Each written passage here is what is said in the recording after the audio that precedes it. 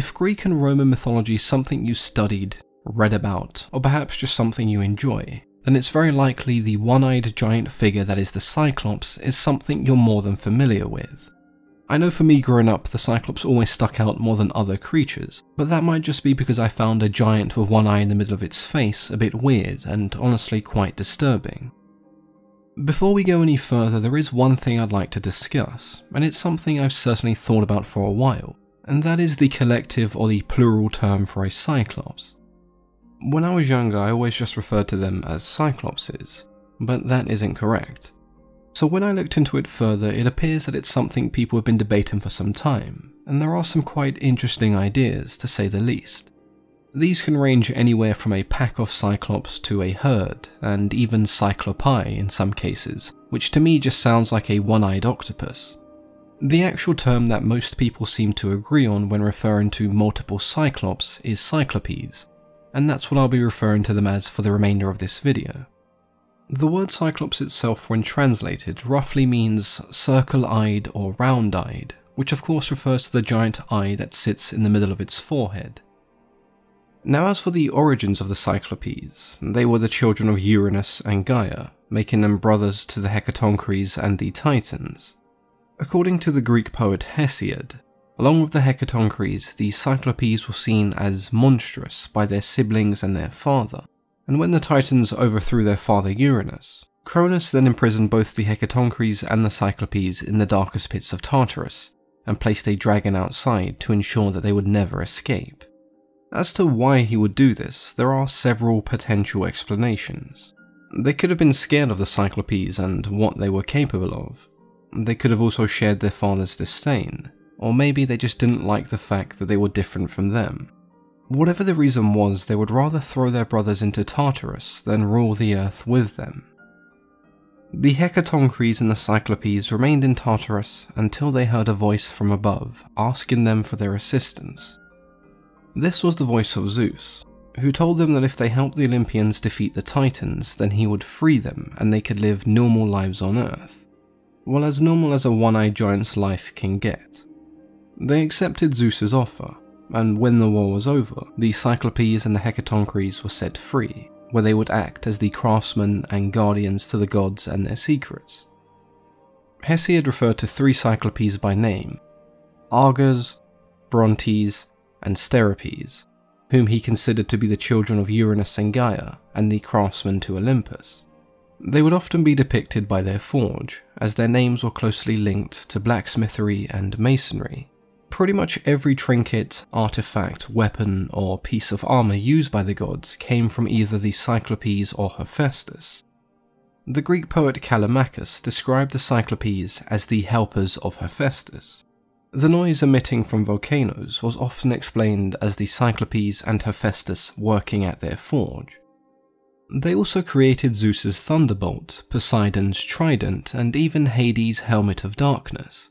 All three of these creations arguably contributing to their success and the dethroning of the Titans. Zeus's Thunderbolt is an interesting point of discussion, because all three brothers came together, each given an element that reflected their name. Arges the Bright, or the Vivid, added brightness. Brontes the Thunderer added thunder, and Steropes the Lightninger added lightning, and thus Zeus's iconic thunderbolt was created. They also made Artemis's moonbow and the sunbow of Apollo, which is quite ironic when we look at the play Alcestis, written by the Greek poet Euripides. In this play, Apollo is so incensed that Zeus had struck down his son Asclepius with a thunderbolt that he then turned his attention to its creators.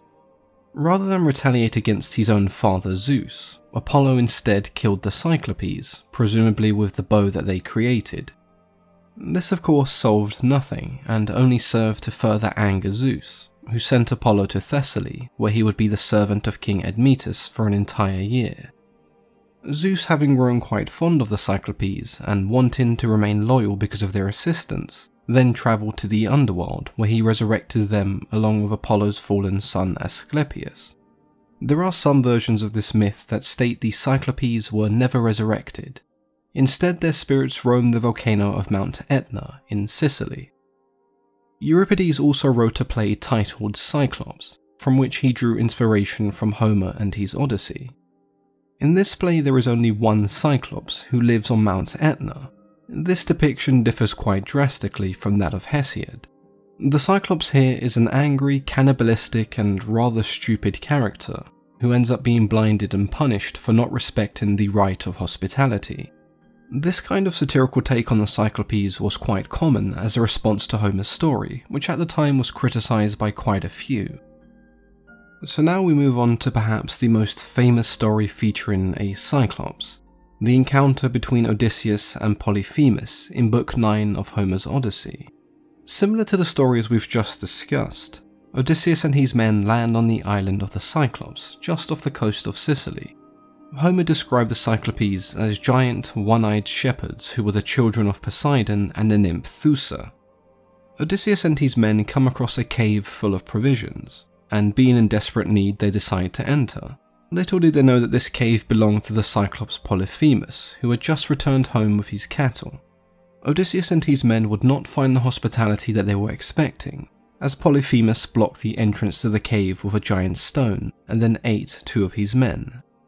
The next morning he ate two more men and left to tend his cattle, which left Odysseus and his men to hatch a plan of escape.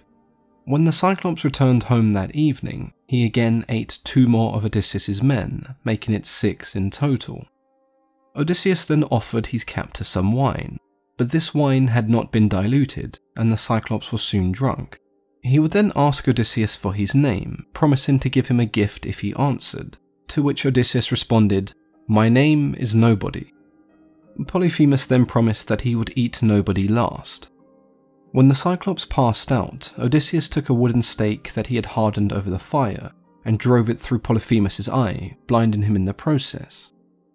Polyphemus screamed in agony and alerted the other Cyclopes, but his calls for help were ignored as he screamed, Nobody has hurt me, nobody has blinded me, leaving the other Cyclopes confused and unsure as to what had truly happened. The next morning, he let out his sheep and closed the entrance to the cave once again, not wanting the men to escape. Odysseus and his men, however, had tied themselves to the underside of the sheep, as the blinded Cyclops would never see them. Once out of the cave, Odysseus and his men returned to their ship and set sail, but not before Odysseus made the mistake of boasting that he had escaped the Cyclops, telling Polyphemus his true name so he may know the man who bested him. This would ultimately backfire horrendously, as Polyphemus told his father of the man who blinded him. Poseidon then rained down rocks upon his ship, which they were barely able to escape. I know whenever I cover Greek myths and stories, there are quite a few people who also like to hear about some of the Roman iterations. So, in response to this story by Homer, the Roman poet Virgil mentions Polyphemus in what he considered to be a sequel to Homer's story, in his very own epic poem, the Aeneid. In this story, the hero Aeneas and his crew land on the same island, shortly after escaping the Trojan War. They come across a man from Ithaca who was stranded on the island during Odysseus' expedition. The man tells them of Odysseus and his story and how he was able to escape. They then see a one-eyed giant using a tree as a walking stick leading his cattle to the shore, where he washes his bloody eye socket, letting out groans of pain that can be heard all across the island. When Polyphemus spots the men in the ship, he begins to give chase. But Aeneas, his crew, and the man from Ithaca set sail, leaving Polyphemus and the other Cyclopes screaming in the distance. Polyphemus does also appear in somewhat of a love story, which we can assume took place before he was blinded. This particular story was told by several poets, including Ovid and many playwrights that followed, with George Frederick Handel telling the story in his musical Acis and Galatea, first performed in 1718. Polyphemus fell in love with a nymph named Galatea, but with the Cyclops not really being described as the most respectful or even pleasant individual, his advances were rejected. Instead, Galatea fell in love with a handsome man named Acis, and so Polyphemus did what any decent man or Cyclops would do in this given situation. He accepted the woman he loved didn't feel the same, and just moved on. Nah, I'm just messing with you. He took a giant boulder and squashed Acis, because there's no competition if you just squash them with boulders. The blood of Acis would then form a river with the same name, and he would become the spirit of that river. So the whole me squash your lover, you marry me now, didn't really work for Polyphemus, because he is what we call in mythological terms a one eyed twat. Okay, so maybe that's not a technical term, but you get the point. Hesiod Cyclopes, pretty cool craftsman. Polyphemus, big angry man eating dum dum. The Cyclops is a creature mentioned by countless Greek and Roman poets, and these depictions can vary from brilliant craftsmen to cannibalistic giants, and in some cases big fat oafs who serve no other purpose but to make us laugh. It is quite interesting to see such varying descriptions. Hesiod believed them to be quite intelligent blacksmiths and craftsmen who were civilized and obedient, whereas Homer portrays them as wild cannibals who have no laws and who live high in the mountains, with little loyalty to even their own kind. The idea of a one eyed creature or monster is definitely not unique to ancient Greece and Rome. We see one eyed creatures across many other cultures, with one of my favourites being Balor, the one eyed Fomorian of Irish mythology, whose eye causes untold destruction and chaos when opened. So, pretty much Cyclops from the X Men. Overall, my opinion on the Cyclopes has changed quite a bit over the years. Having seen them in movies when I was younger, I honestly just believed them to be evil monsters, but there is definitely more than meets the eye. Feel free to let me know what you think in the comments below. Which version of the Cyclops had you heard of, and which one do you prefer, Monster or Craftsman? Let me know in the comments below.